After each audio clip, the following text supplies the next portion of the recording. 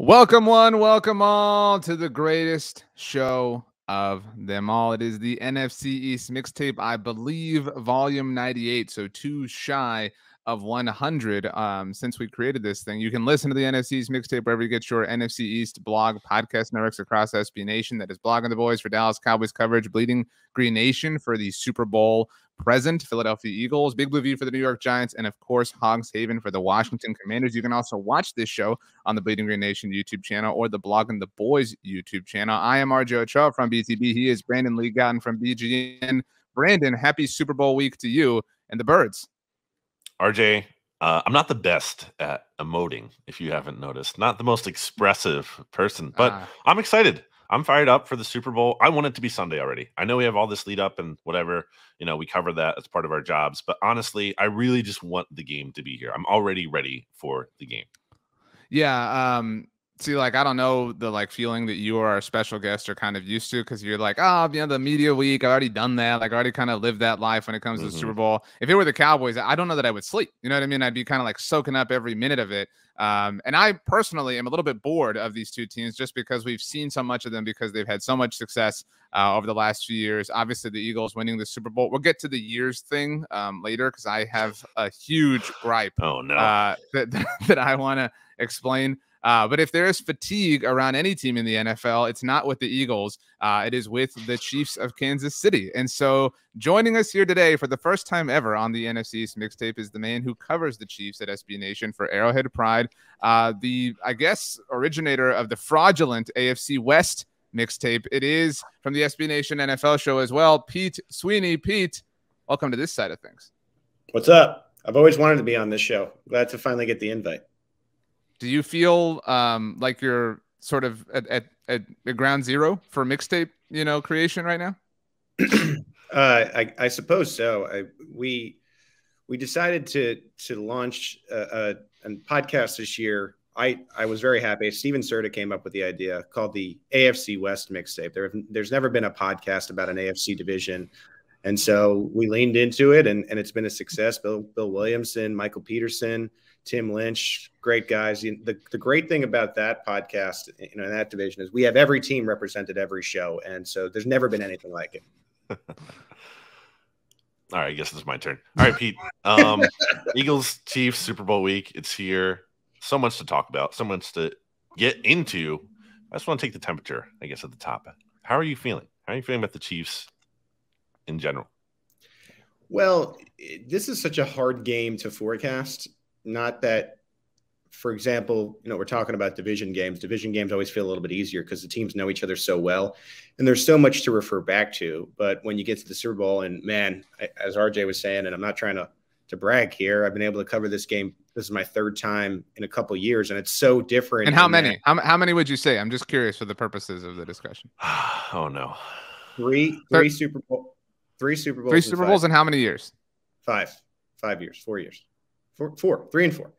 Uh, anyway, anyway, uh, oh, I just think when you get to this game, it's just so hard to predict because we're so, I think, and, and you guys can probably relate to this.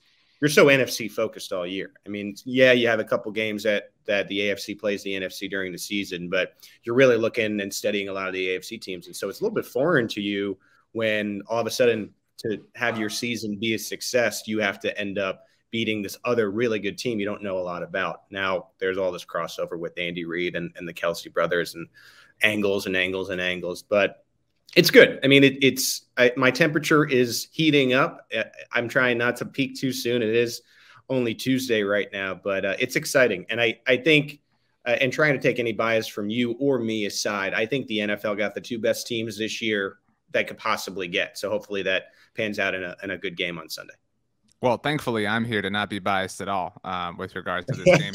Um, Pete, so I'll be honest, I did not think, and we were in Miami together um, for the Super Bowl that the Chiefs won, um, and and I was not at the time all too impressed with the Niners. Now my impression of them has obviously uh, grown in stature since then. They've obviously done some some impressive things this season. Obviously, I picked them to win the NFC Championship game. That went a weird way, whatever. Um, but but that was never really in doubt for me. That just kind of felt inevitable. Um, the next year, I, along with Brandon, we were the only two people actually uh, from SB Nation's experts group to pick the Bucks. Now, I picked them because I wanted it to happen. Brandon picked them as a joke, so I really should only get the credit uh, for that particular game. Um, but but I, I wanted it to happen despite you know because I, I had some Chiefs fatigue. Um, and but I thought the Chiefs would win handily. This is the maybe the most concerned I've been about the Chiefs in a Super Bowl. Do you share that sentiment? Like, is this the best team they've gone up against in their three? The Bucks team was pretty good defensively. They and and they were cooking, and they had a lot of weapons on offense. And Gronk and Brady had their thing going again. Uh, I think my concern is a little bit less in this one, only because the offensive line is healthy and I was slightly concerned heading into the the Chiefs Bucks game, and I I think we all missed the boat on that. We knew it was a story, but nobody thought it would be the story of the game. And so coming into this one, where and, and I think when you get to this game, and maybe Brandon will disagree with me here, I think experience really matters, you know, for the quarterback play, and just the fact that Mahomes will have an offensive line that isn't the third backup at each position gives me a little bit more confidence. Now you're facing the best pass rush team in the NFL, so I think they're going to have to help them. But I I'm slightly less concerned maybe than the Bucks, just because from from a health standpoint, they're the Chiefs are in pretty good shape. They're really only going to be missing wide receiver Mecole Hardman, who's more of a a, a role guy for them. Yeah, when you talk about the pass rush too, I mean, it's just it's dominant. Um, historically, yeah. Eagles have sacked. This comes from our good friend Sheil Kapadia. Eagles have sacked opposing quarterbacks on 11.5 percent of their pass plays. It's the highest mark of any defense since at least 2000. And the difference in sack rate between the Eagles at number one this year and the Patriots at number two is the same difference between the Patriots and the number 29 Bengals. So that is insane. Like that is a huge drop off from just one and- to two really quickly too, like the personnel for the Eagles defensively is what Patrick Mahomes tends to have trouble with. Whereas if a team has the personnel where you don't have to blitz and you could rush three or four and have your guys play cover on their pass catchers, those are usually the teams that give Pat the most trouble. Now, not every team has personnel like the Eagles do, which is why the Chiefs win a lot of football games. Yeah, and to that point, I mean, I said the Eagles have a sacked opposing quarterbacks on 11.5% of their pass plays. It's actually even better when they only rush fewer four defenders. When you look at that rate, it's 11.8%. So, yes, um, I guess that's the key question here. That's probably the, the top matchup of the game. If you're an Eagles fan listening to this, um, you're wondering how do the Eagles hope to contain Patrick Mahomes? And as someone who has watched Patrick Mahomes a lot, Pete, um, there aren't many games where he plays poorly, but like, is there any kind of through line in those games? Is there anything that's key, I guess, beyond just getting home with four? I think just when I've seen Mahomes struggle, he does have like a slight tendency to always look for a bigger play. And if you can get him into pressing a little bit, which happens rarely, uh, then then that's when he really starts to to play poorly. And as I was saying, and, and building upon the, the last point, I I think teams that give Pat trouble and the Chiefs offense trouble force him to play in the intermediate and tempt him to throw deep into to double coverage. He's done a much better job at that this year than he did in previous years. The Chiefs have started to adapt, and I think that naturally happened when you no longer have Tyreek Hill. Marquez Valdes Scantling came on in the AFC Championship. I don't know how many games you're going to get that Marquez plays that well. It's been few and, and far between, and so I, I think you're going to have to to live in in the center of the the field when with these intermediate type of passes. And it's just you know can the Chiefs be disciplined enough to not throw into what are some good coverage players for for the Eagles? It's it's all about I, I think again just not blitzing and and giving Mahomes a, a, script where he has to nickel and dime his way down the field.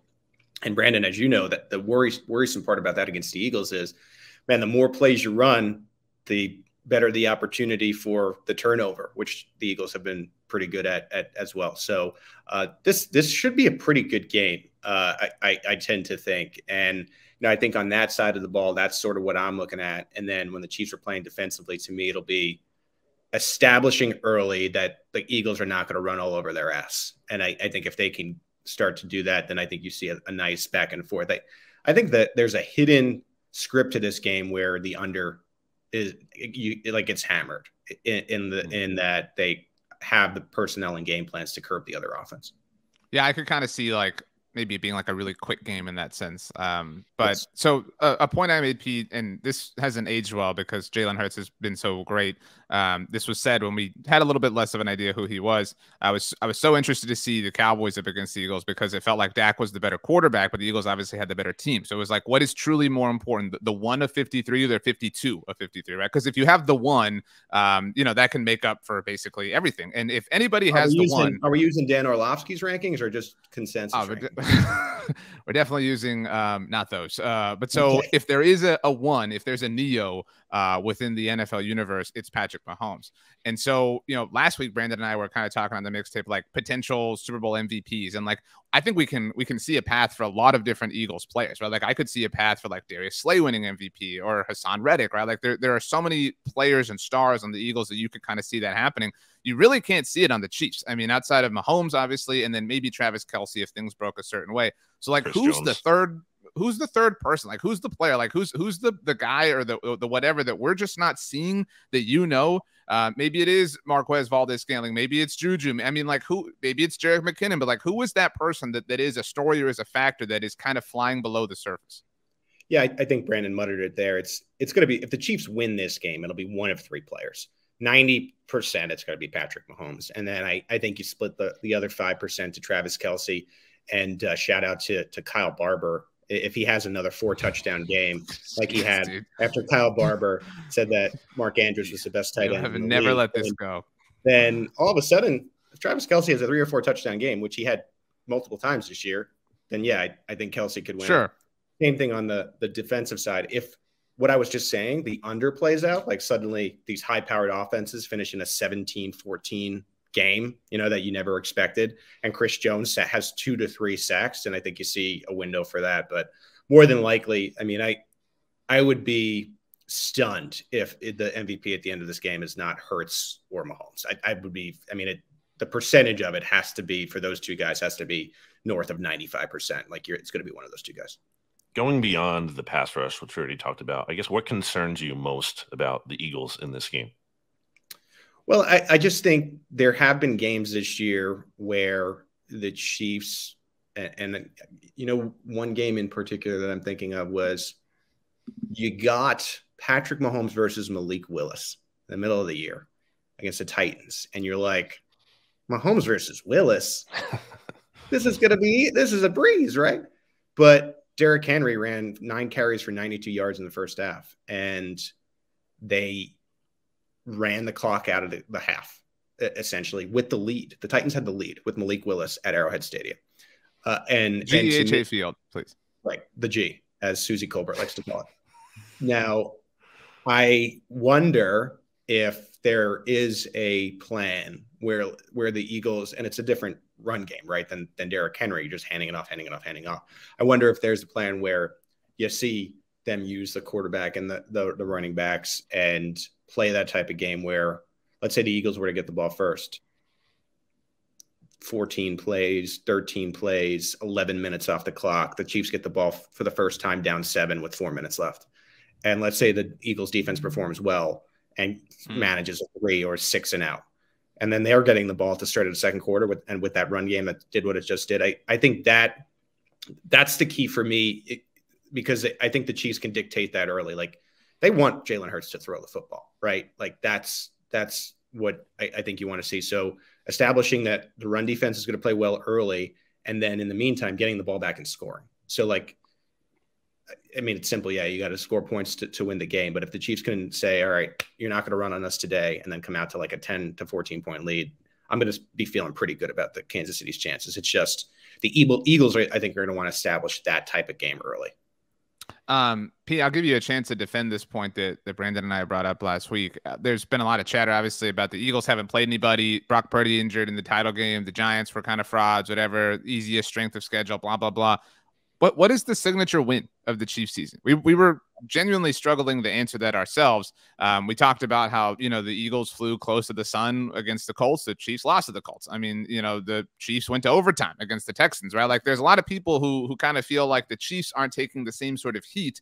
Um, the the answer we kind of landed on uh, because yeah. we also talked about the Malik Willis thing and the struggle, and because that was kind of a game winning drive sort of situation. We talked about the Niners win, but again, like that was you know that was a little bit different. Um, kind of hard to really value that. But what is the answer in your opinion? Um, I'm, i just pulled up the schedule. The the Chiefs had a wow, really you don't soft, have it memorized. Embarrassing. The Chiefs had a really soft end of their schedule. I would, I know that they asked for one game, but I would point to three games when they played their best against the Bucks and 49ers before their bye. Going into those games, the Bucks and 49ers were getting Eagles like this defense is incredible. You can't stop them, and they dropped 40 on both teams going into those games. I know that we thought differently about the Bucks at the end of the year. And then I, I think there was a, a game that they flexed to Sunday night football on November 20th against a playoff mm. team, Brandon Staley's Chargers. And this was a game that they didn't have Juju Smith Schuster. And the Chargers ended up taking the lead three different times in this game. And Kansas City just kept going and going and going. And that to me, is just shows you that like you can't count the Chiefs out it. And then for me too, I think the Chiefs played a much better quarterback in the AFC title. I know you probably don't want that as an answer, but uh, I think if you could design a, a, season and you can slam a button, hey, you're going to have to play a really good defense, but their quarterback is going to be the last pick in the draft. I mean, I think everybody's hammering that magic button. So I, I, I don't think that Eagle. If there's one benefit to the the Chiefs as far as like a mystery goes, the Eagles have not played a team like this in the playoffs. Uh, and like I, I just think it, I, as much as like there's a, a, scenario where the Eagles could could dominate the game if they utilize the run game, I I think there's a a a like smack them in the mouth type of um, you know we're not dealing with the Giants anymore, you know, or um, what would be Brock Purdy. I mean, this is the MVP of the league, so that plays. I, I, think the Chiefs have like some slightly tougher games along the way, and the Eagles can't control their schedule. You know, to Brandon's continued point, and I agree with this. It's like, yeah, they had they had the schedule they had, but they were smacking these teams. Well, and they and they earned it. That's the point, Brandon. Like just like the, I mean, the Chiefs was a little bit more debatable, obviously, with the, everything. Yeah. But like, if you earn the one seed, you earn the one seed. Yeah, and this went. is not going to be this is not going to be popular with Brandon, and I'm sorry, Brandon, but I think the Chiefs have already played the best team they're going to play in these playoffs in the Bengals. Mm, I, I, think the Bengals wow. would have beaten the Eagles as well. Bulletin board material, baby. And I he's on Twitter at PG Sween just for all yeah, the Eagles I think they're. I think the Eagles are a great team. I just don't think they're better than the Bengals or the Chiefs. Mm.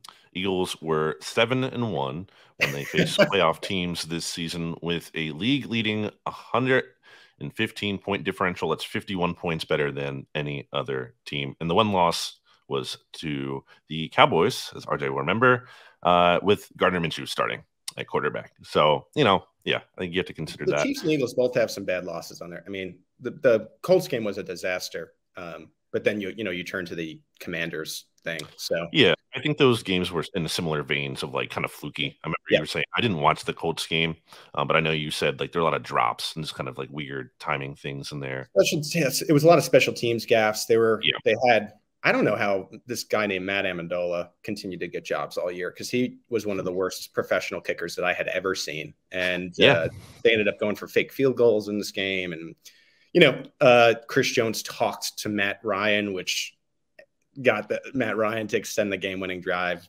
maybe the last good moment of, of his career. Um, so yeah, I mean, it, fluky, fluky for the, the Chiefs too, and they, they played pretty well, and then only ended up losing to two contenders the rest of the way. So, my last question for you uh, is: you already kind of talked about what the story is if the Chiefs win this game on Monday Football Monday last week on the SB Nation NFL show in terms of being a dynasty because yeah. of you know multiple Super Bowls and then just being there and having the success they've had. It's five straight AFC Championship games. Let's flip it around the other way. What's the story if they go to five straight AFC Championship games? Like Andy Reid once upon a time went to four in Philly and didn't win any Super Bowls. You have didn't he one. to, Didn't he play in five straight though? Um, I guess I thought it was four. I, think, I don't know. Anyway, oh, sorry, the point is like you know you make it to the point is the bigger the larger point here is like what is the story if they lose this game? Yeah, I think you, you're right on it. Uh, it's Andy Reid. I, I, mean, regardless of how the game goes, I, I think the biggest story coming out of it will be what it means for the narrative of Andy Reid because it's one game, right? And it, you know, in the grand scheme of things, it really could go either way. I mean, I'm not I'm not sitting here telling you think I think the Chiefs would win 10 out of 10 times. That that'd be ridiculous. Like maybe I'm maybe I'm at six or seven, right? So it's possible and it's unfair. But if the Chiefs win this game, Andy Reid it begins to be talked about in the realm of Belichick and those types of, you know, is this really the one of the best co- head coaches of all time, if not the best? Because now you have guys that could say, well, he's really been successful with two franchises. Bill can't say that. Like there's things Bill can't say that Andy has accomplished. Now, if he loses, I think a lot of people 10 years from now, 20 years from now, I, as you tell the story of Andy Reid, he'll be this coach, and a lot of people will always counter with, yeah, but you know, he got to those championship games, but could never really get it done. Yeah, they did it the one year, but that took a 10 point comeback in the fourth quarter. Like that was kind of miraculous, right? Like against a, a coach who's kind of known for collapsing late in games. In, quarterback who isn't like in, amazing. in conference title, yeah. and, and and it's unfair because it's just so hard to get to that point. And like if you really look at even the Brady Super Bowls, right? A couple of, of the like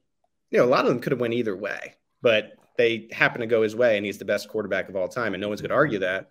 But man, the margin was small, and so I don't know how fair that is, but that's the reality. It, it it's a it's a tale of two very different narratives for Andy Reid.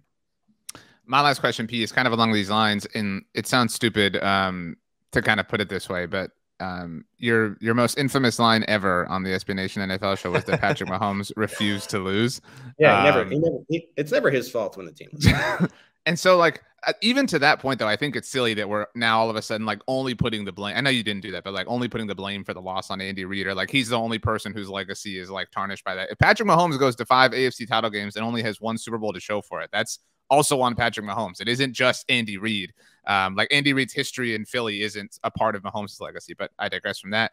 And, and so, like to all of that, I do think this is, and I'm curious if you agree, the highest pressure moment in the Mahomes era for the Chiefs. So I, I, like what what what is like, it's the Super Bowl, right? And so they played in two of them before. So like maybe it's the same as that but like you know the, the stakes are, are so different. I think the eagles have much less to lose because they lose a super bowl. It's like whatever dude. I mean it sucks but it's like yeah. you won one you know 2017 you're in year two of sirianni you have all the like hope and future in the world to be like excited about moving forward. Again you just kind of deal with it and lick your wounds but if it's the chiefs it's like man like maybe that we have seen the best. Maybe, maybe like they're, they're not even going to get back. Like the bengals are coming yeah. the bills are going to get it together the chargers because uh, watch out for kellen moore. I mean whatever. But like, like when was the last time they had this much hanging over them? Is I guess my question.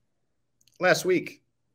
You know, I you know I'm two not trying ago. to. Yeah, please, please get arrives two weeks ago. I know you don't understand out. time. Like, I I think the Chiefs are still the class of the AFC, and Andy Reid is what 64. Mahomes is 27. I just talked about Tom Brady, and and we're you know in Kansas City, a lot of people hope and, and that that he can have the type of career similar. Brady lost three Super Bowls. If they if two of those Super Bowls would have happened first instead of amongst them, you would have looked at Brady differently. I, I don't think Mahomes' legacy is is as much on the line as it was against Joe Burrow a couple weeks ago. Because I think in Joe Burrow before the game, eh, Pat Patrick Mahomes was great against everybody, but he had his Achilles mm. heel that he just couldn't beat, and he was able to overcome that. And I I just think there's so much of the Mahomes story to be told. Whereas Andy, more of that story has been told than is ahead.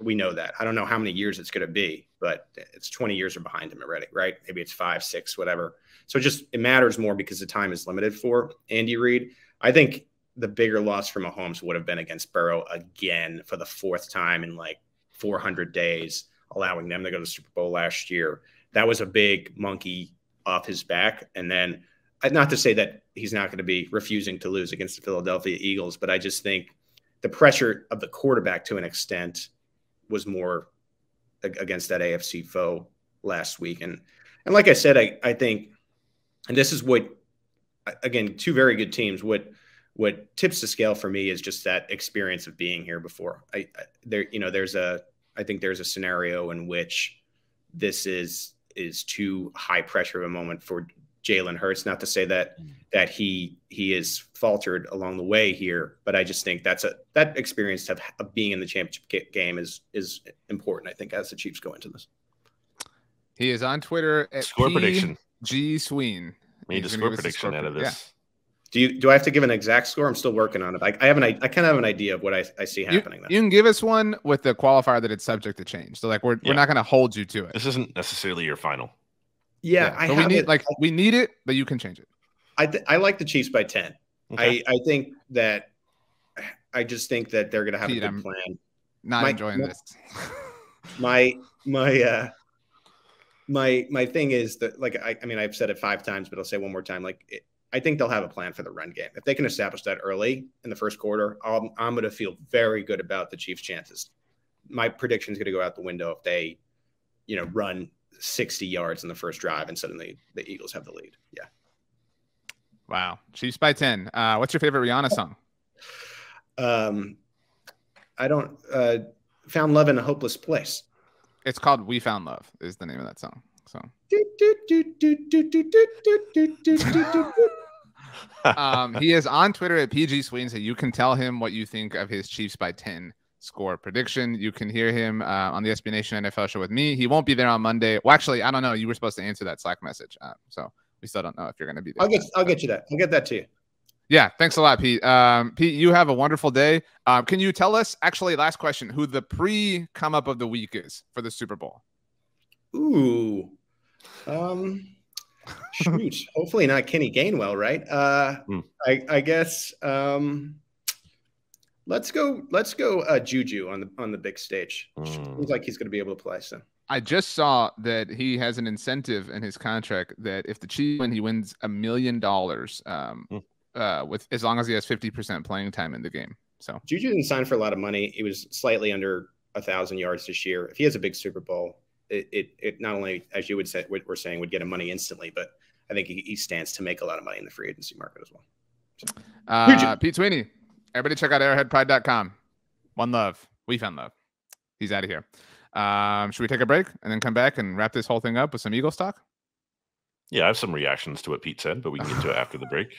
Okay, we will be right back. Welcome back. While we were gone, Brandon, um, you went and looked through your uh, Rihanna discography collection, and you have a suggestion for your favorite Rihanna song. Yeah, I mean it's obviously Umbrella, you know, a classic. I was gonna say please don't stop the music, so I'm glad we at least had three different answers here. Um, can I go first with reactions to Pete? Because like this is the Eagle side of the conversation. Um, but I I think you will find my reactions interesting. Okay. Obviously rooting for the Chiefs. And I, I have like a, a bit of a like mm, closing debatable. statement I want to get off um, you know, before we leave here. So I'm obviously rooting for the Chiefs. Not a fan of anything Pete like that's some bad vibes, mm. super scary vibes. Mm. That is like counting the I feel like the chickens are being counted and they haven't hatched yet. Um, now I will give the Chiefs like I I understand. I know people like clap back at this idea. I understand if you, whoever you are, have some fatigue about the Chiefs, right? Like that's natural, right? Like it's it's boring and dated. You've seen it a million times. Like we've heard all these stories. Like the Kelce Bowl stuff is fun and a cool twist, Andy Reid, whatever. But like I get it if you have some Mahomes fatigue. I am all mm-hmm. for like you know, rolling out the red carpet a little bit further if they win this game, especially the way Pete said, right? Like if, if you go in there and you shut down this Eagles team that nobody's been able to shut down all season long, by all means, we'll line up and we'll sing your praises. Um, but to act like it's a, and I know he's not like proclaiming anything, but like to act like it's like reasonably within the realm of possibility um, is a bit of a an assumption I wouldn't make uh, personally. And so um, some bad vibes. I do not want to see the reality that I think is going to unfold unfold based on what Pete said. On Juju, because Juju was brought up there, I think there's some bad Juju going on for the Chiefs because he was asked on Super Bowl opening night uh, about cheesesteaks or, or something to the effect oh, of yeah, yeah. yeah." the best cheesesteaks don't even feel like he was very clearly a troll attempt, but it was a very like not unique and bad troll attempt because then he was asked well, where are better ones? And he's like, I don't know, definitely not in Philly. Like it was just like lame. And I think is that a thing? You... Like, do, do Pittsburgh people do that? Because I mean, that that would make some sense then. I mean, just to just to try to understand the genesis of this. No, I don't. I don't. I think it just speaks to Juju kind of being viewed as maybe immature mm, at times okay. and not like the most uh, maybe an unserious. That's the best way to put it. Unserious kind of player. Just didn't think that was good vibes. Um, there's some other things that aren't even necessarily directly related to the Chiefs, but all this 49ers whining that is still going on. You have Brandon Aiyuk coming out here saying the Eagles got extremely lucky. Like all of that is only working in the Eagles' favor to me. Like that's only like making them stronger because it's just like we can't even get respect after we blew this team out in the championship game. But I think the the biggest thing I wanted to respond to about Pete, he brought up the or you sorry, you brought up the refuse to lose line from should we um, explain that? Like just so in case anyone hasn't heard, um, this was the 2020 season. That was Herbert's rookie year, right? Um, and it was actually the game, the Tyrod Taylor um, injection game, um, when when the injection went wrong and he and Herbert had to jump in, in and start. And I don't remember what the score situation was, but it was a lot tighter, obviously, than anybody anticipated, especially you know with the quarterback situation unfolding the way it did. Um, and the Chiefs came back and won, and I believe they converted a third and twenty. And I hmm. think Mahomes even like scrambled for the first down, if if that um, is correct. And the next Monday, Pete Michael Kist, shout out to BGN Radio, obviously, um, and I were talking about it, and Pete said, you know, this guy just refuses to lose. And I love Pete, but he said that in all seriousness. Like like that there was no uh juju troll attempt there. It was like completely and totally No, he believes and, it. Uh Kist and I equally rolled our eyes uh because we were like, dude, come on. Like it was just whatever. The the Chargers collapsed. But just just so everyone has full context. I'm sorry. I don't want to interrupt. This is your show, but I just wanted the information to be there. Well, I think there's something to that about Jalen Hurts. When it comes to the Nick Sirianni comparing him to Michael Jordan, I think that's what he's getting at. It's it's and it's something that it's hard to talk about because it sounds very like, yeah, wouldn't any player in theory like refuse to lose because they all want to win? Duh. But I think it's at a different level. And I think it's how it manifests. I think with Mahomes, it's different in that he's just so talented. Like he can just do crazy, insane things that no one else can do. I think with Hurts, there's just this belief I think you see it in the team. And I think the team has taken on that personality of feeling like like I always talk about how Hurts is so composed, and this is why I'll push back on Pete saying like you know worrying about like the moment. Uh, the moment's not too big for Jalen Hurts. That's like my, the least of my concerns or lack of experience. I mean, I, I, think you can argue the Chiefs are actually suffer from lack of experience in the terms of, especially like you look at their secondary, a lot of rookies and young players playing out there, especially going up against DeVonta Smith and AJ Brown. Um, but Hurts might be young, but like I don't worry about any kind of you know moment being too big for him by any means. I think that's you know that's something he has covered. He is super composed, and I think the the whole team has taken on that vibe. I think they're loose. I don't see any concerns about this team being uptight.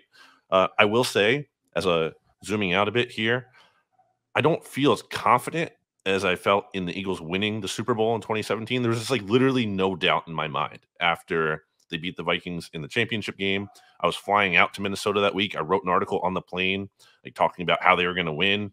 Like I, I, I was rereading that article recently, and I was saying I felt like I looked into a crystal ball and I saw the outcome of the like that's I just the confidence I had. And I don't think it was cocky. I just like that's legitimately how I felt. I feel a little bit different this time. I'm not worried about the Eagles losing. I just think it's going to be a situation where it's a close game and someone's going to make a play at the end. It could be either team. I just think it's going to be kind of a coin flip game, is how I feel about it. I, I'm going to pick the Eagles to win because I believe in Hurts at the end of the day and that composure and everything they have going on. But the Chiefs are really good too. Mahomes is really good. So it's just, I think it's a coin flip game. Um, this to me is like we we talk about seeing a path a lot. I mentioned that to Pete, but like um, like I think we could have seen a path to the Bengals winning the Super Bowl a year ago, right? Or we could have seen a path certainly sure. to the Chiefs winning the Super Bowl two years ago, right? Or even a path to the Niners winning they up they were up by ten, you know, winning the Super Bowl three years ago. Um, the, this is the like closest I feel like the two paths are, right? Like, like, you know what I'm saying? Like they're almost like on the same path. Like the deviation off of like the center line is like 1% for each team. They're like that closely intertwined. And so like this is why we don't have to like whoever loses this game make this dramatic you know, leap because it is such a close thing. Like the margin, I, I love that point about Tom Brady. Like the, the Super Bowls he won, like the Malcolm Butler pick, that was a super tight sort of thing at the very end. They overcame 20 to 3, right? And, you know, even though the one they beat the Rams in the second time was like not that great of a game, it took that big Gronk play at the very end. But you could just as easily, you know, play that game the other way. I don't think people give Brady that benefit. I mean, if not for the David Tyree catch, right? Like if not for if if Asante Samuel catches that interception, right? Like and and if you know if if the hail mary works against the Giants the second time, like you could you could play the what if game a lot of ways, obviously, and so we don't have to make that huge conclusion. Um, I agree with a lot of what you said, and it bums me out to do so. You know, when I started to like really worry this week about the Eagles winning, because obviously I don't want to see that happen. Um, you mentioned Super Bowl media night. The way the Eagles players walked in, super mm. chill, like like they looked bored, like they they looked like you know and, and like whatever I, I don't have a problem with people enjoying it like it's a super bowl you should you should experience it like you shouldn't be like i don't want to enjoy it or have fun because we might lose like you you don't know if you'll get back like it's very very difficult to do uh but they looked super super super bored um i'm surprised i i'm not here to troll like that's not my thing like the eagles are a great team i'm super fine admitting it um but i'm surprised we haven't heard like well, Jalen Hurts got pulled in the national championship. I really thought we'd get that kind of like take this week, and the week is still young. But so um, maybe like he, it's it's not like he has no experience. Like I recognize that's not the Super Bowl, but like the dude has played in some yeah. massive college football moments Huge. and some massive NFL games. Um, so you know whatever. I recognize Mahomes has obviously played in some big games. I I don't know. I, it's so hard to get a read on the Chiefs because like I think that the, the Eagles, t- to me, generally, like this is the disposition of Philly as a whole, tries to like underdog it up. And so it is strange when you're not the underdog, right? I remember after um after the Seahawks won the NFC title game against McCarthy's Packers, the crazy comeback. I think I don't know if it was Jermaine Kearse or Doug Baldwin was like screaming into the camera. They were like, "Y'all doubted us." It was like you were the one seed at home, like, like you know, like what, what are you talking hey, about? Like, I mean, Belichick did that with the Patriots all the time. Like that's he, he, no, he I mean, that's one of the and, things I want to give him credit for. He always had kudos. that mentality. Yeah. All, all, I'm saying is like it does sound silly on paper to be oh, like hundred percent for either for either of these two teams to be like everybody's doubting us. Like, what are you talking about? like, the, well, you just said on the, paper last week. Right, the right. Eagles felt slighted because George Kittle said on paper the Eagles defense is good on paper, which I thought was a really tame. I don't even think he was taking a shot maybe like very subtle, very slight, but the Eagles used it as fuel. And I think that's that's a credit to Sirianni. Hey, Julian Love out here in Good Morning Football criticizing Nick Sirianni, saying he's just along for the ride and anyone could coach that team to a Super Bowl. I mean, I think one of the great things that Sirianni has done is fostered this culture of, hey, we are the underdogs, or, or people we're being disrespected. We're not getting that proper respect. Uh, and is it silly? Maybe, yeah, but I think it's working for them. It's like what you say about the uh, getting all these people to uh, to believe the sky is orange, right? Get, and yeah, if, if they do, then it is. Yeah. To believe the sky is orange, then yeah. it is orange. And so, yeah, I'm with you, and I've I've given Sirianni his credit for that. Um, I know a lot of people think it's silly or whatever, but if it works, right? Like if, if it has a tangible effect, then who cares, right? Like if you win the Super Bowl, who cares? Like nobody will care if you win the Super Bowl.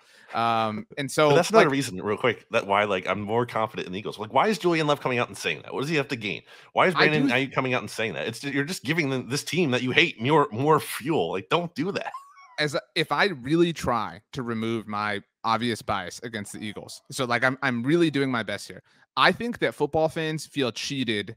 Not that the, like the Eagles are cheating or anything, but I feel like people like it's so kind of boring to not see like this great team get tested, right? And mm. so like you can argue that like we talked about how it felt like we were robbed of a great game in the NFC title game, whatever. And like that's just the schedule. So I, I think that like that's like a, a deep psychological thing for people is they feel cheated or robbed or whatever that like this Eagles team hasn't really been pushed. And like we talked about the Cowboys game, like, yeah, they were pushing that game and they lost, but it wasn't Jalen. You know what I mean? Like it doesn't feel like we've really seen them push to their brink. And I think people want to see that. If that happens and they win, I think people will really celebrate them. So we can all admit, right, that if the Eagles do beat Patrick Mahomes and Andy Reid, they can't that we can't say that anymore, right? Is that or is it only well they only had the one good game? Like, like can I'm we gonna say that if they win this game that there's nothing fluky about it and they actually deserve respect?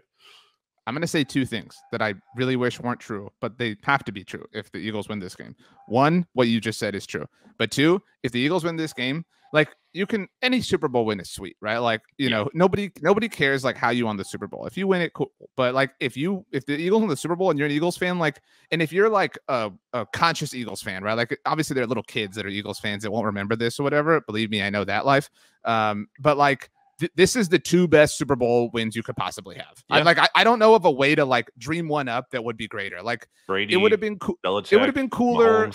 The, the, full story was cool, but it would have been cooler to not have to deal with the like drama afterwards. I think that's fair to say. Like that was probably annoying, but still, like the further and further we get away from it, I just saw before we started recording that Nick Foles wants to retire an Eagle, right? Like, mm-hmm. so that is cool for the obvious reasons. So if you knock off Brady and you knock off the dude that everybody says is Brady and the dude who's only been knocked off by Brady, you know what I mean? Like it's as opposed it's really to sweet.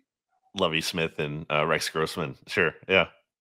I mean that, yeah. If you're talking about you know Peyton, I, fine, we can call Peyton great. Like we don't have to you know pick up. Well, I'm just saying, like if you're going to talk about like the contrast, that's what it is.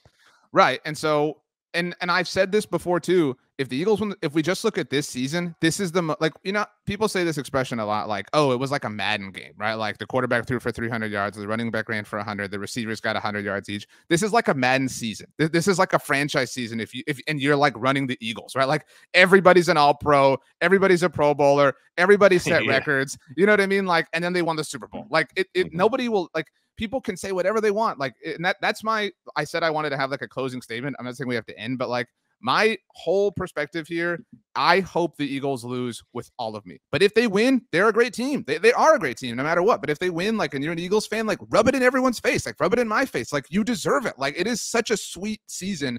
And if you get the cherry on top, like, I mean, dude, like, what what more could you ask? I mean, and the Sirianni stuff is whatever, but the dude embodied the culture that you, not you, Brandon, but like you say you're proud of and you say is representative of your city and your people and everything. And in its own way, that is cool. And so, like, he made everybody hate you. like, and, and if you're the the kind of Philly fan that relishes in that, like, th- this was as Philly of a season as it could possibly be. Yeah, I think the last thing I'll say here is that, you know, I've said before, season's kind of a failure if they don't win the Super Bowl it, it's uh, maybe I need to parse that a bit more. It's a wasted opportunity, obviously, hundred sure. percent. But I don't think it's a failure from the standpoint of it was still an incredibly enjoyable year. Um, a lot of likable, rootable players on the team. Um, you right, talked future about too. Super, and and Jalen Hurts is 24. He's going to be here for the future you know a lot of things will change. You can't just take for granted that this window is going to stay open forever. The eagles last super bowl run is an example of that. Um, but at the same time just because that happened doesn't mean it will necessarily again and i think there is more staying power with this quarterback. To your point about super bowl opening night and the confidence that you saw in the team how about just the talent? Like look at the all the players the stars on the podiums that the eagles had versus like you have george karlaftis uh, Benjamin Solak made this point on the Philly Special podcast. Like he he's like he's one of the players at their podium. He's like a rookie defensive end. Like nice player. I like George Karlaftis. I think he's a nice player. But you have like that as one of your top representatives. Versus, versus Haason Reddick, right? AJ yeah. Brown and Haason Reddick and Brandon Graham and uh, Devon and like just you know all these like stars on this roster, which is no surprise. We talked about how loaded the Eagles are. Many points throughout the year and leading up into this game about quarterback versus roster kind of thing. Um, but yeah, I mean, at the end of the day, this is like a team you can be proud of, right? Like this is a team that like you're very proud of. They historic season in terms of sacks, in terms of wins. You're feeling good about a lot of things. Not guaranteed to happen again, but there's reason to believe, especially in an NFC conference that does not very uh, does not have a, a, a much of apparent power players with staying power in terms of like you know oh these are these are the clear behemoths of the conference much like the AFC does by contrast, then yeah, you feel good about that. Um, what's your prediction for this game, or do you want to make that later? Uh, in a little bit. I just have a few more like kind of things I want to tidy up here. Um, on the Haason Reddick point, I, I still believe Micah Parsons is a better player. I'm not here to like hmm. you know sing hmm. that song and dance, but he's he's but it an wasn't that far player. off. At no, worst case, what my I, don't want to call it an annoyance, and it has nothing to do with Haason, But like, and I I've given Howie Roseman an enormous amount of credit. In fact, I'm the true Howie stand on this show at least. Um, if we want to give Howie, we should give Howie credit for the AJ Brown trade by all means. Like Howie, and I was wrong. I read my apology letter, et cetera, et cetera. I think we need to stop giving Howie credit for the Haason Reddick thing. Like you yourself have talked about, like it wasn't a big deal. Hang on, just hear me out. Like I like there's no way Howie saw this. Like, no, no, no, no, no. Like there's no way Howie saw this. That's what I'm saying. Like Haason deserves the credit for this. Like, you know what I'm saying? Like, like he deserves like, a lot of credit, but I think more than I'm, one I'm thing just saying, like, true. I it's fine. Multiple things can be true. All I'm saying but is it was like, a good bet. Howie, RJ, it was a really good bet to make. No, You're betting was, on a play. I'm I'm not this is not a criticism by any means. I'm saying I don't think Haason individually gets enough credit for his season. Mm. You know, and I know you've been high on him, but like Howie clearly saw something with AJ Brown, right? Which is why he was willing to to send the compensation that he was, and he gave him the deal that he did. And I'm not saying like, oh, he thought Haason was a loser or anything like that, but like it was a bet, right? It was it was more of a gamble, and he, and he hit. So like certainly credit to Howie, but like huge credit to Haason for like cashing in when a lot of people didn't really believe in him. Like, you know what I'm saying? Like he didn't get the deal that you that you would think he did based on his performance. That's all I'm saying. Like, I think Haason Reddick deserves the the bulk of the credit for his season um, and for what he's done, as opposed to like other circumstances like Darius Slay or AJ Brown or James Bradberry. I think you get my point. I think it's important to give credit to the players like you're doing there. I think a lot of people tend to kind of fall into a trap of when they talk about Jordan Mailata, who's had a lot of success coming from literally never playing football at any level to being, you know, like a very high quality uh, left tackle in the NFL. And a lot of people want to be like, Jeff Stoutland, you know, made him. And it's like, yes, I definitely want to give the Eagles offensive line coach, who's clearly very good and just signed an extension credit. But you have to give Jordan Mailata a lot of credit too, because right. he put a lot that's, of like the hard work in to become that's that my point. So I get that, but I, I again from a, a, bet standpoint, I love the bet because you're just just looking at his production that he had, his age, the fact that he was so misused and didn't even play a ton early in his career. Like you made a, a logical bet. And for the money, he's not even a top 15 paid edge player. That's insane. He's 19 and a half sacks in 19 games. Like that's that is correct. You don't like those kind of players don't even become available, first of all, on the market. And, and then second of all, when they do, you have to pay like out the wazoo for that. That's exactly what I'm saying. Like all like if we had lined up odds on them turning in like these kinds of seasons, like for Haason, they would have been like hundred to one versus like for AJ, they would have been like, I don't know, like 20 to one. You know what I'm saying? Like, and, and kudos to Howie for making that bet. All I'm saying is the odds were what they were, you know, and, and so like good for him. Like he got this great season for like not a great cost. And like if there's more than enough credit to go around. And so I I I want to say I've come to a real I don't say realization, but like I'm ready to say something that I uh, I think I've known for a while, but I would say about five years ago, I still argued a little bit, but like I haven't argued it, you know, vigorously. Um, that Jason Kelce is obviously the, the best, you know, mm. offensive lineman, you know, whatever. Blah, blah, the most but, overrated. Well, so there was a little bit of, of like name value to that that I do think serves with other players, not him, like when it comes to Pro Bowls and stuff like that. So that was kind of where I was coming from. And obviously, I thought tra- very highly of Travis Frederick. So, like looking, you know, within the division, it was a really interesting conversation for a while. There's no question that Jason Kelce is the superior player. This is my take Jason Kelce is the best Eagles player that I have seen in my lifetime. Mm. Like, no, nobody else has been as great of a player for the Eagles specifically as Jason Kelce has in my lifetime. That's that's where I'm willing to come down. Like I'm I think that highly of him.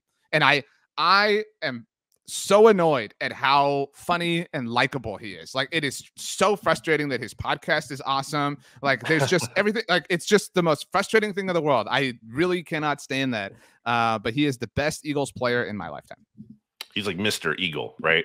In your eyes. Yeah, if, if I if I was in charge of like constructing an Eagles Mount Rushmore, he would be like the center figure for players that have played in my lifetime. Again, like I'm not diminishing the past. I'm just talking about, you know, whatever, 21st century, a little bit before that. It's pretty crazy too, because there was a time leading into the 2017 season where it was like, you know, they might get rid of him. They might trade him, might cut him to save salary. And he's really had, I don't want to call it a late career surgeons because I think he was good earlier and probably didn't get the proper attention because he was a six round pick. And I think you see with offensive linemen, it's kind of they always have to shed that. Like if you're a first round pick, you just get more benefit of the doubt because you know, let's be right. real. There's not like offensive line stats that you have. So like your reputation matters a lot more than it does at other positions.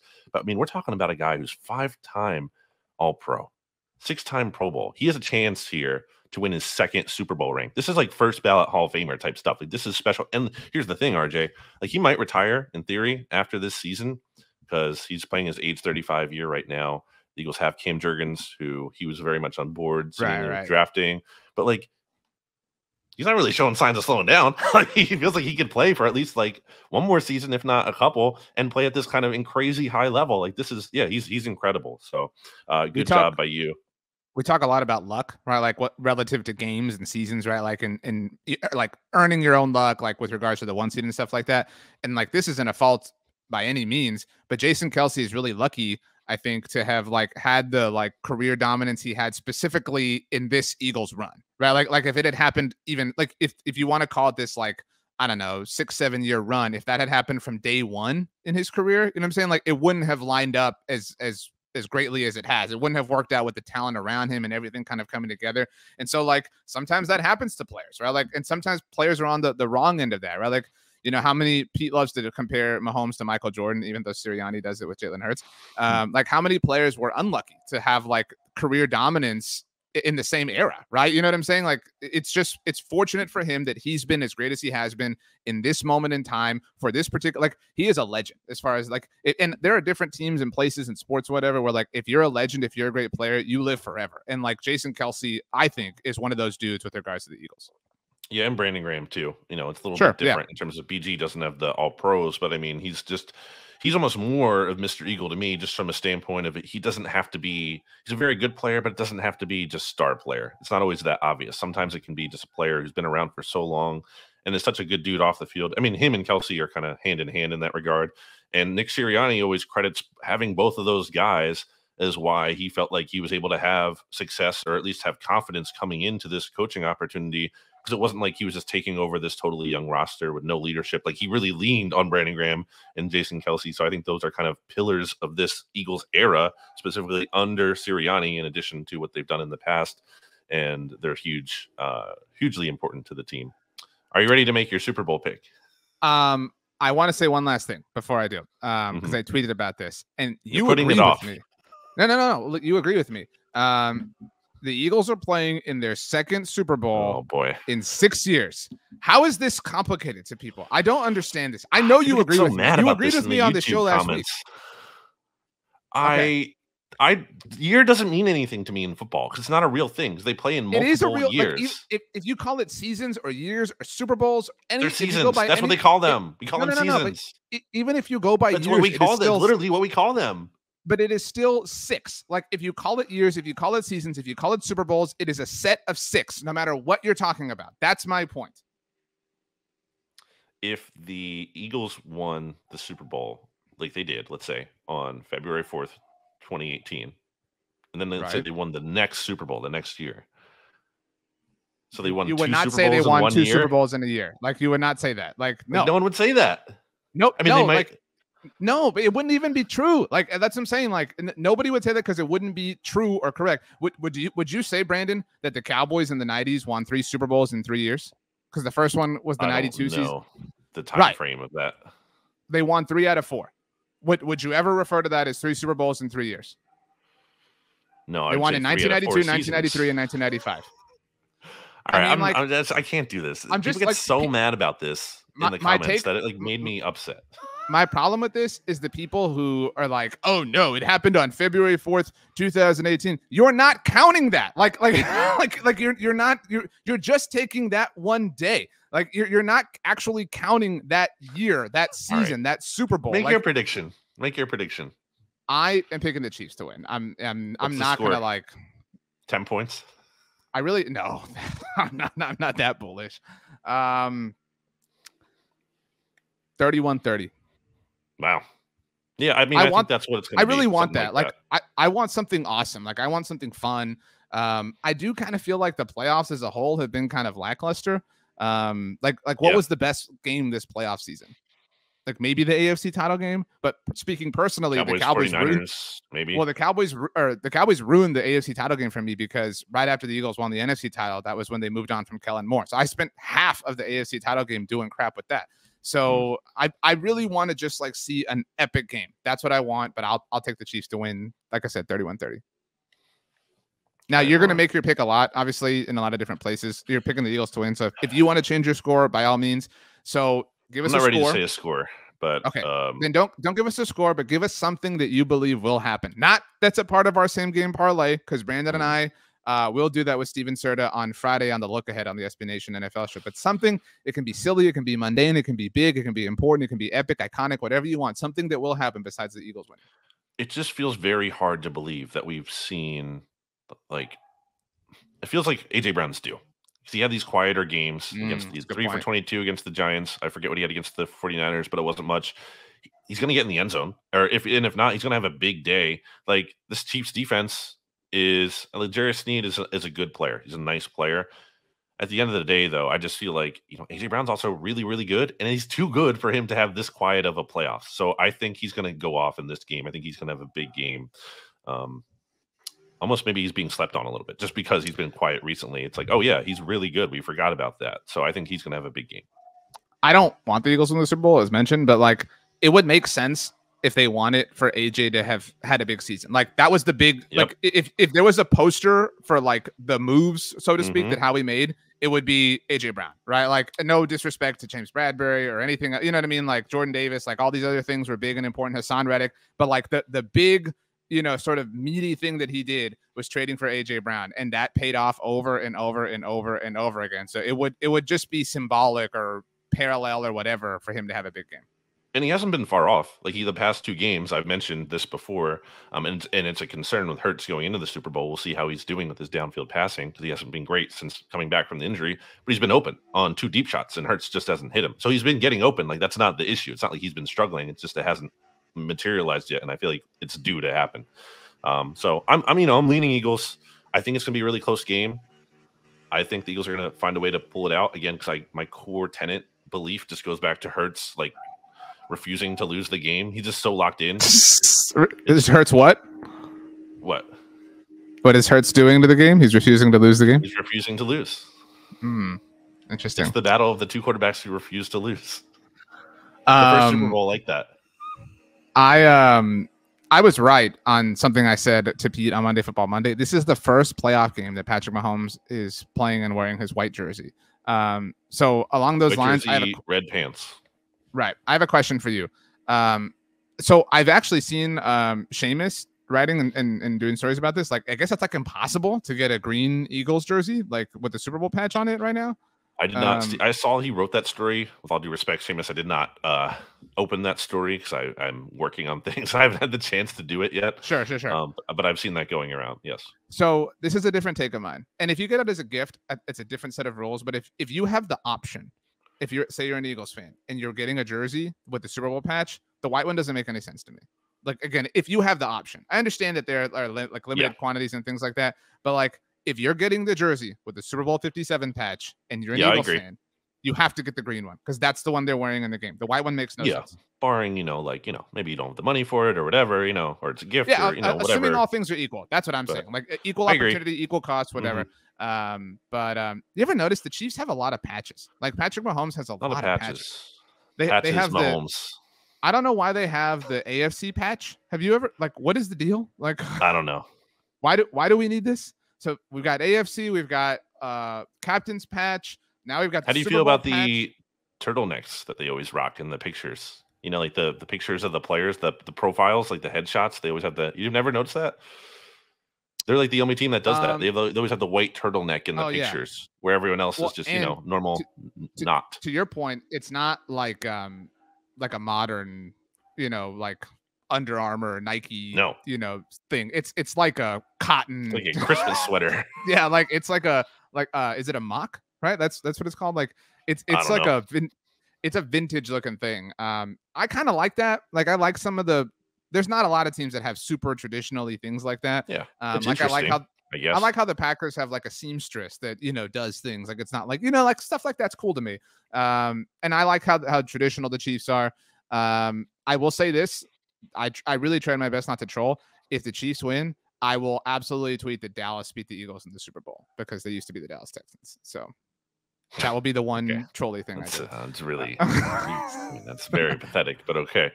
I mean, uh, i want to talk about the rest of the division, RJ, quickly because uh, you know uh not as important as the Super Bowl. It is. There is a lot of. I will say. I will rub it in the faces of the non-Eagles fans here and be like, all these other things going on that aren't the season still. It's just very unserious. I'm like, who cares? this is like stupid. Like, oh, offensive um, coordinator shirts. Like, well, let's let's rip through this. Um, so we talked. Kellen Moore is gone, obviously last week. Um, we talked about Dan Quinn staying. Brian Schottenheimer is the new offensive coordinator for the Cowboys. Um, it was a promotion. this is the general take. Like, uh, there's not a, a, rational Cowboys fan who has any other, other sort of take.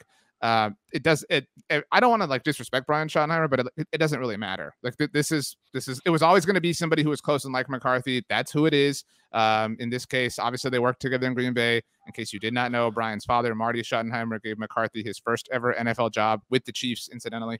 Um, and so it was always going to be a, a pro McCarthy guy because he's going to call the plays. And I I said last week, it didn't have I, to be.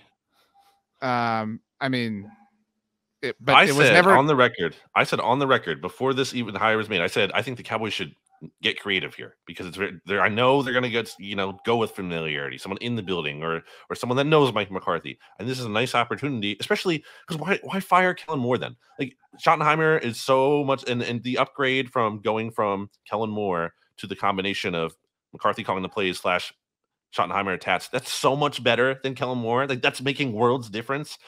I don't get that. I mean, again, like I'm like I'm I'm not if you're gonna like make a change, make you, a change. Well, I'm I'm answering the question like why it was done. It was because they had to make a move. Like they had to do something. Some, some there had to be a fall guy for for everything. Like so that like it had to be Kellen Moore. Like of all the available options, it had it had to be. I mean, like I, like you can laugh and snicker, but like that's the truth. And again, it was always going to be a Brian or like a Brian Schottenheimer archetype, like like somebody that was just a pro McCarthy guy. Like we can sit here and say like, well, this would have been better. Like they're they're all in on McCarthy, and like I don't mean all in like we like, and I'm not saying they don't believe in him, but it's not like oh baby, like we know this is the path, we're all in. It's like look, like we have enough invested here, like whatever, like it makes sense for us to line our chips up in this direction and hope mm. it pays off. I mean, they're pot committed at this point, so they're just doubling down. I feel like Cowboys fans should have feel uh, should feel like the team could have done better. They could have been a little bit more creative. They didn't have to just bring in someone that McCarthy knew. They could have gotten someone here who could bring some fresh, new ideas to the table. That seems like a unique opportunity to do so if you're getting rid of Kellen Moore, as opposed to just someone who's going to be in lockstep with the play calling head coach at this point, especially considering Schottenheimer's resume, right?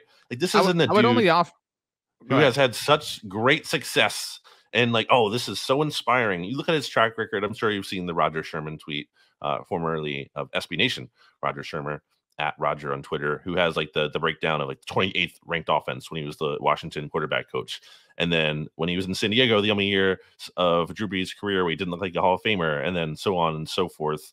Um, just a, a big resume of not being impressive, including the Cowboys playoff win over the Seahawks, where the Seahawks stubbornly refused to throw the ball at all for some reason and had to get the ball to Mike Davis and Chris Carson a bunch of times, even though it wasn't working clearly, and had success whenever they did actually throw the ball. Like it just feels like they could have done better. That's how I feel about it. Like I'm looking at this I move, mean, I'm like, great.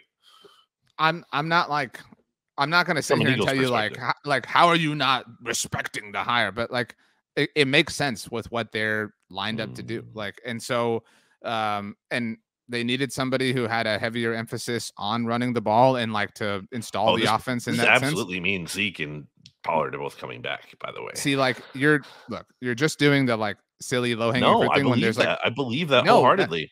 That, I that that well, that would be wrong. Like because okay. like again, they they want somebody to install the offense and to like develop the run game during the week and Mike Mike McCarthy is going to focus on the passing game. Like that's his thing. Like, and so obviously he trusts Brian Schottenheimer to install the offense and set things up. And so um, it it makes sense. I don't. I'm not going to sit here and like bet on that, but it it does make sense based on the variables and circumstances that they have in this particular moment.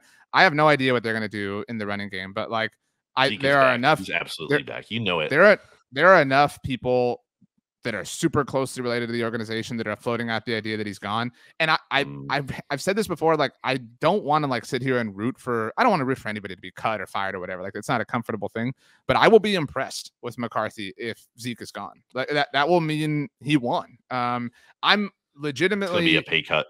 That's I'm, why I'm legitimately unsure on Tony Pollard. I don't know. The injury is such a, a factor now. It's so hard to um, figure out what the best thing is. The Michael Gallup situation a year ago is is really fresh. He had knee surgery a week ago uh, on the other knee, not the one he tore um, his ACL from a year ago. So I mean, it's it's a really scary proposition to just pay him and assume everything's going to work out. I I don't think everything's on the table, like equally on the table. I don't think there's any like likelihood or anything. I I think that I if I had to predict just a pure prediction, I would mm-hmm. predict that Zeke is gone and honestly, they let Pollard walk and pick up a comp mm. pick. But um, but and I don't think like the Bijan Robinson stuff is such a low hanging fruit. Like we don't have to do this thing. But I mean, it, it will be some combination of lower level free agent, Malik Davis, and maybe a day three pick. I think the smart play would be to cut Zeke, not bring him back at a discounted rate. That is dumb. I, I just I feel I, like I can I'm envision. I, am not saying you're saying that, but I feel like I'm gonna. I just can only envision Zeke taking a pay cut and some Cowboys supporters being like, "Oh, this is a great move. We get Zeke back, and he has a lower rate." No, you need to cut clean, make a clean cut, break free, be done with that. And with Pollard, there's there should be a world where he's brought back, but it's you let him test the market, and then you see what's out there. And there's there's a chance because of his injury and the uncertainty that you could bring him back maybe on a one year deal that's less than you expect, something that works out for both sides. But basically, the point is there like you have to slow play that one. You can't don't try to you know tag them or beat the beat the, the market to the punch. Don't do that. Just let them sit out there. And if you lose them, you have to live with that. But don't close the door on signing him if the number makes sense. I just want to say this for you and for other Eagles fans. There, like, there are fans of every like creed and belief, right? Like, so there are definitely Cowboys fans are like, no, you got to bring Zeke back. The majority of people share your sentiment. Like, just so we're clear, like, I you don't have to tell me like I've seen Cowboys fans saying this. Like, of course, you can find me a Cowboys fan that says like Romo should still be the starting quarterback. Uh, by the way, interesting how the heat has come for him now as of late. Mm, um, but I was never um, on board. Um, of, of let's go to okay. the Giants where they might lose Mike Kafka, who's still in the running, I believe, named a finalist for that Arizona Cardinals job. So that'd be kind of like disruptive, you know? I mean, that would kind of be like a bummer. Not to say they're screwed because they lose him, but to lose him after one season and like Daniel Jones finally kind of turning this corner and things looking like promising for a little bit, and to lose him after one season, I feel like that would kind of be a big bummer. I don't know that it, I think it would be a big bummer. I mean, they have Brian. It Daboll. would like they ruining have, your no, continuity. I, I mean, again, like I'm not saying the like bum scale is like zero percent, but like it, your bummer scale, like, but it it would it would not, not be like like if, if I had to like assign it a value on the like spectrum, like zero to 100 percent, I think it's it's lower than 50. I mean, it, it, could be like relative to context, like relative to the fact that they have Brian Daboll, like they've been in the wilderness for so long. You know what I'm saying? So like they've been in the wilderness, they're out of the wilderness, they're eating a warm meal, they have a blanket draped around their shoulders, and you're walking up to them and you're like, "Oh, dude, like somebody took the shoelaces off of your shoe." You're like, "Oh, that mm. sucks," but like you know, I think it's like, like taking your shoes off, not just the shoelaces. Okay, cool. You yeah, you got to walk back up to the castle. Um, I don't know if you're big from the Harry Potter game. I'm pumped. I'm pumped about it. That's what I was thinking about when I brought up the force. Uh, but yeah, maybe not barefoot. Like you got socks on. You know what I mean? Like you're not completely mm. barefoot, so it could be much worse. So that's what's going on with the Giants. Really, uh, the big okay. the big things are like, are they going to resign Saquon? What are they going to do with Daniel? Right, Jones? Right, I mean, Daniel Jones is going to be back. It's just a matter of what's the deal look like, and then we'll see what they do with Saquon. Uh, Washington, not not a lot going on. Still looking for an offensive coordinator, right? But there hasn't even been a lot of buzz on that, and that's it. That's it, man. There's nothing going on there. Um, generally chill times in the division. It's just it's the Eagle show right now. That's, that's who's really their quarterback going to be? Because I, I have seen that at Hogs Haven. They the Hogs Haven, at least from what I can tell, very set on no more retreads. Like no I don't, more retreads. Yeah, I don't think they're getting Derek Carr. Like I don't think they're in the mix for one of these like kind of top level moves. Um, I think it's somebody. There's literally who, like, an article that says no more retreads at quarterback for Washington with 282 comments, and there's a poll here, RJ, which I will get to. Um, but say what you want to say. I mean, I think it's some sort of free agent signing, like depend like contingent upon who is ultimately available, but like somebody off the open market, if that winds up being Jimmy Garoppolo or Jameis Winston or Mitchell Trubisky, like I think it's something like that. Like it's some sort of open market signing um, paired with a draft pick um, that with an eye towards the future. Might not be the worst idea for them. I don't know who they can realistically hire draw away. I was going to say, ideally, I, this is what I would do if I were them probably not going to be able to get away with it. But if I were them, I'd try to hire Eagles passing game coordinator Kevin Patullo, who is like Nick Sirianni's boy, because you're getting that Colts connection. And then I would try to to maybe sign Jacoby Brissett to compete with yeah. Uh, Sam Howell to push him because uh, Brissett is known for being a very good like culture locker room guy, and you need that. I think in that situation, he's not going to carry them by any means, but you kind of just have a stability there that if the floor falls out with Sam Howell and he ends up he totally just stinks and isn't any good at all, then at least you have something to fall back on. Not that it, again you're not making a ton of long term progress with that. I will say this poll at uh, Hogs Haven, RJ, 72% of the voters, with about 3,000 votes cast, want to roll with Sam Howell through thick and thin. The second most popular option is sign a I modest veteran and let Howell and the veteran battle. battle I think that's that's fine. Like, I mean, this might be the last year of the Rivera era, the Rivera. Um, so like the last thing you want to do is like, you know, you know, stick your new head coach with, you yeah, yeah, like, you know, in year two of like a quarterback he may not love. Um, so I agree. I just saw right now as you were talking a report from SNY uh, from Connor Hughes that Daniel Jones's price tag is believed to be between 35 and 37 million dollars a year. Hmm. It's a lot of money. It's not. I um, it's really not relative to the quarterback market, but no, that's that's why I like people that are like Dak's making forty million a year. If Daniel Jones is making thirty five or thirty seven million dollars a year, and Dak's making forty million a year, like sign me up for this reality. Like that's an incredible bargain. Like there's, just, there's really no bargains at quarterback for the most part. I mean, it's a bargain like, relative. It's it becomes a bargain like as soon as the next deal is signed. That's the way. I mean, yes, relatively, but in terms of like a bigger scale, no. It's either like quarterbacks are usually paid nothing at all, relatively, like the rookies, or a ton. And it's various amounts of a ton. And there's a unique time where someone does become a bargain, like Jared Goff. Jared Goff right now is a bargain because mm-hmm. You're, producing like very high level offensive numbers with a guy who I forget where he ranks exactly, but because of the Lions trading for him too and not owing him that guaranteed money, and because of how long ago he signed that deal, like that's a legitimate bargain for the production Geno you're Smith, getting out of that another player. example.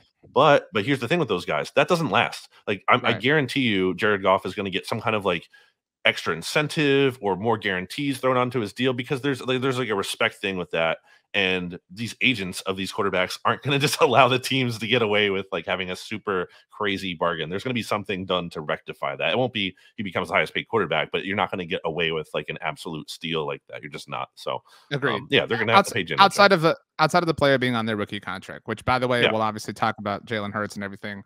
Uh, we've got big time players in the NFC East eligible for new deals this offseason. Jalen Hurts leads the way. Uh, CeeDee Lamb, Trevon Diggs. Um, I guess a lot of different Eagles uh, free agents who are going to be up for. Well, I meant like grabs. rookies, but yeah, like new new deals obviously as well. Um, so yeah, or not rookies, rookie contracts. Um, but Jalen Hurts and CeeDee Lamb and Trevon probably the biggest, like again, because they're coming off their rookie ones and stuff. So, um, okay. Uh, the very last thing I wanted to say. Um, I have slowly over the last few years been watching Seinfeld all the way through. I think I've told you this at a certain point. Same. Yeah. Um, so I'm wearing the shirt. Um, I have one episode left the finale, and I'm going to watch it tonight. And we're recording this on Tuesday. So when this episode is out, I will have finally seen all of Seinfeld. Me. Congratulations. Uh, See, you have time to do things like that. I don't because I'm actually covering a team in the Super Bowl. I made all these jokes. I gave all the props. I don't know why this is necessary. Like I tried to be very kind and very. I mean, you know, it's not even a joke. Like that's true. I I wish I could watch Seinfeld this week. Well, I get I'll get to it next week after the Eagles win. Seinfeld, new Harry Potter game. Super Bowl. I'm living large. Parade. So. Uh, yeah. Um, let's get out of here. Brandon, tell us your favorite thing about the Eagles, and then we leave. These pretzels are making me thirsty.